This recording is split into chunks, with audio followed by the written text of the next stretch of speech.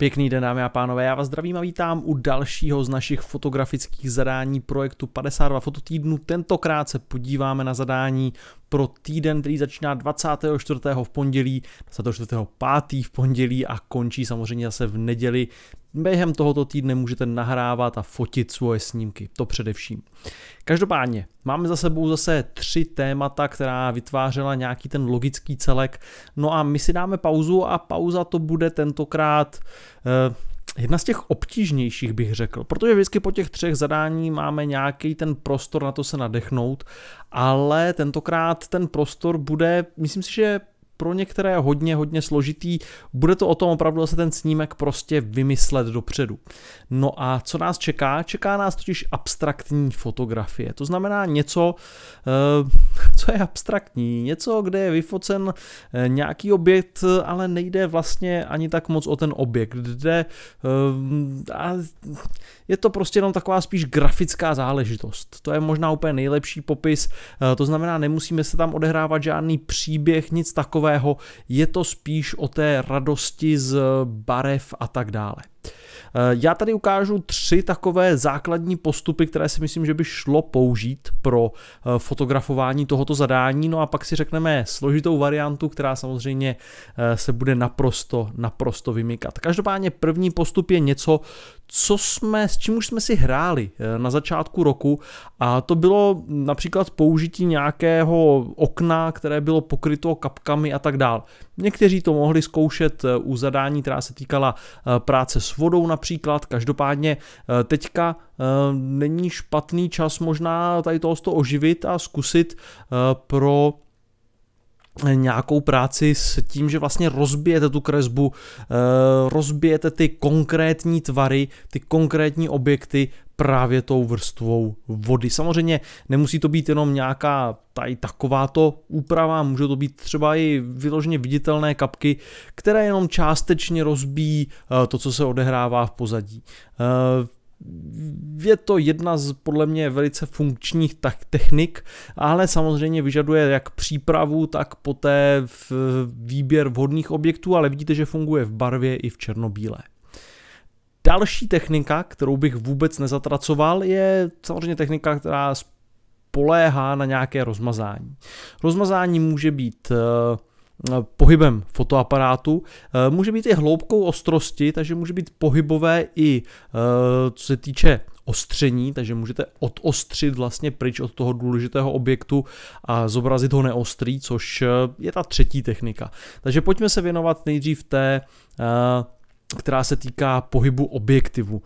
Eh, takže pohyb, eh, nebo pohybu fotoaparátu, nebo samozřejmě pohybu té scény eh, před vámi. Ať už jakýmkoliv způsobem, bude to většinou vyžadovat nějaký delší čas, nebo dostatečně dlouhý čas na to, aby se ten pohyb toho fotoaparátu nebo té scény projevil.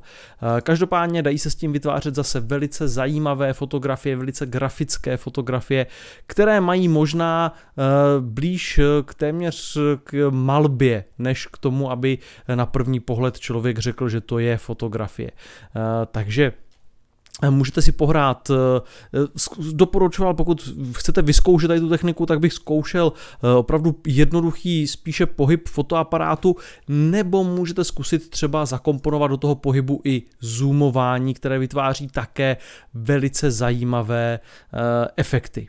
Takže i zoom během vlastně expozice může vytvářet velmi zajímavý efekt. Eh, na tohle je jedním z odborníků nebo eh, z fotografů, kteří to hodně cpou do, těch, do té své produkce a vyloženě se baví tady tímhle s tím typem fotografování, tak Brian Peterson. Takže pokud máte uh, od Briana nějakou z knih, například nějakou, která vyšla v Zone Pressu, uh, tak uh, se můžete podívat, protože těch návodů, těch postupů jsou tam opravdu mraky a myslím, že to je téměř v každé jeho knize najdete nějaký takovýhle snímek. Tak, pokud ale se budeme bavit o té těžší variantě, protože to rozostření je celkem, celkem jasné, eh, nastavíte manuální ostření a budete ostřit tak dlouho, dokud z těch konkrétních objektů nebudou třeba jenom, eh, jenom fleky. Já jsem tady to zkoušel s pouličním osvětlení například, kde to funguje eh, celkem zajímavě, nebo nějakým pohledem na město by to mohlo být hezké, protože z těch světel se najednou stanou jenom takové rozpité fleky. Takže toto jsou všechno tři varianty, které si myslím, že jsou relativně přímočaré. Pokud chcete složitější variantu vyzkoušet, tak eh, nechci, abyste použili kteroukoliv z nich.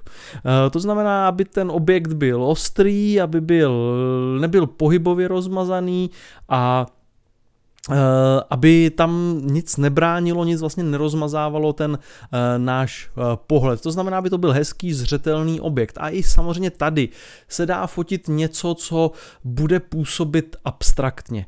Jedním ze způsobů, jak toho můžete docílit, je nějaký použít nějaké objekty, ze kterých ukážete třeba jenom detail, které člověk ani nerozpozná, o co jde.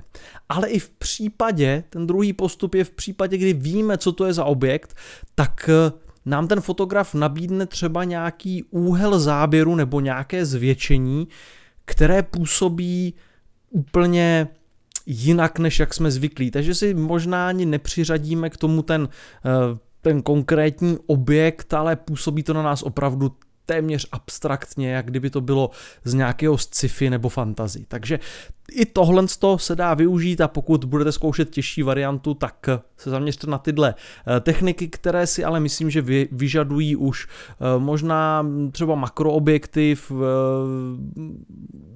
myslím si, že to nebude tak jednoduché vyfotografovat, zatímco ten, eh, to pohybové rozmazání samozřejmě dokáže vyfotografovat eh, jakýmkoliv fotoaparátem úplně každý. Ono i s telefonem to půjde, když s ním budete eh, šikovně mávat. Takže abstraktní fotografie, já se budu těšit na vaše snímky, je to, myslím si, že složité téma relativně, protože zase je to o tom vymyslet tu fotografii ještě než půjdete fotit. Můžete pak zkoušet, můžete experimentovat, ano, ale musíte do toho jít s nějakým záměrem. Není to o tom, že vyrazíte do města a něco vám padne do oka. Pravděpodobně budete muset mít velice dobře vymyšlené, eh, eh, co vlastně jdete fotografovat. Takže je to zase taková ta práce, která z části probíhá předtím někde na papíře nebo, nebo ve vaší hlavě. Mějte se krásně a zase příští týden na viděnou.